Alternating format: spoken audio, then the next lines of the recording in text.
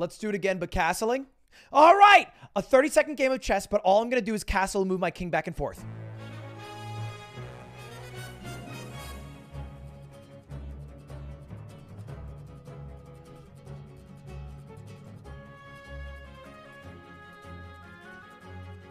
He just got himself a knight.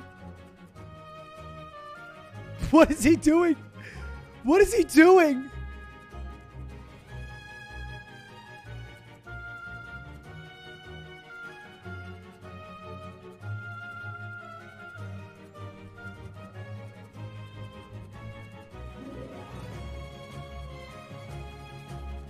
The answer is no.